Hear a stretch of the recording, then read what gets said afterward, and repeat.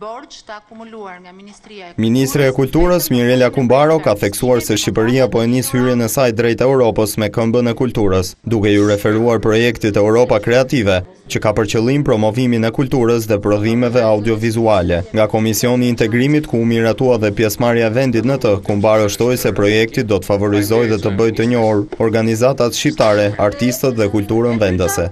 Ju thatë me këmbë të mbarë, unë do të thoja hyjmë në Europë me këmbën e kulturës.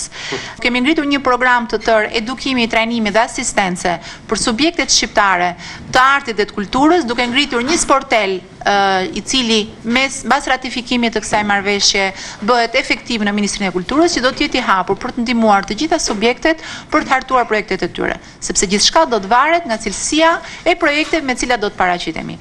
Creative Europe ose Europa Kreative është një projekt i financuar nga Komisioni Europian me një buxhet prej një pikë dyzet e gjashtë miliardë eurosh, që ka dy programe bazë. E para është promovimi i kulturës në të gjithë sektorët e saj si dhe promovimi i artistëve të ri, ndërsa programi i dytë, ai i medias audiovizuale, ka të bëjë me promovimin e programeve televizive apo aktiviteteve si festivalet e filmit.